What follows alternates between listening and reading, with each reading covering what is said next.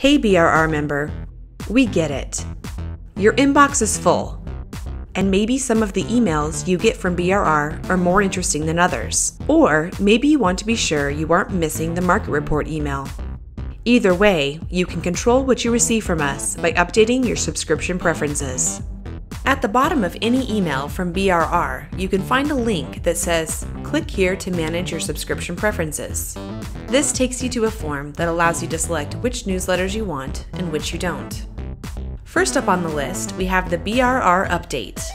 This is a bi weekly newsletter featuring association events and news. If you're only going to subscribe to one newsletter from BRR, this should probably be it. Many of our members take advantage of member pricing and free classes at BRR to keep their license active. You can register for our featured classes and find a full list of upcoming classes in the EdLink, which goes out every other Thursday.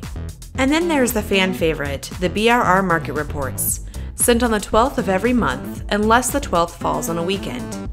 This email includes links to our monthly market reports, graphics, and analysis. Since Canyon County reports and graphics are member only, this is the only place you'll find links to those.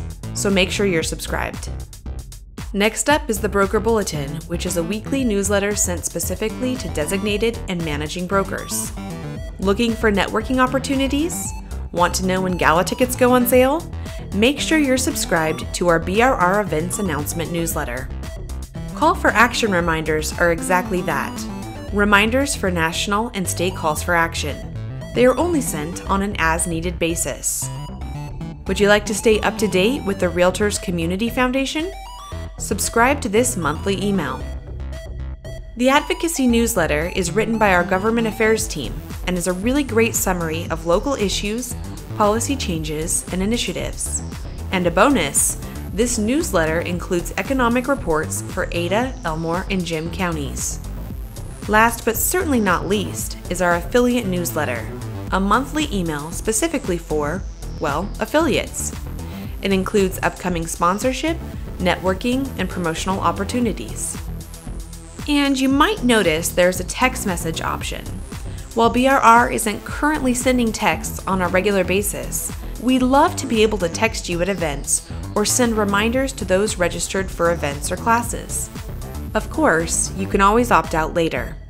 This unsubscribe all option, don't click this unless you're absolutely sure you don't want to receive emails from us, besides your membership renewal invoice.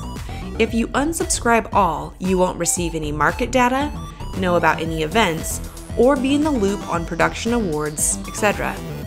I hope this tutorial was helpful. If you have any questions or issues, please reach out to me at cassie at boirealtors.com.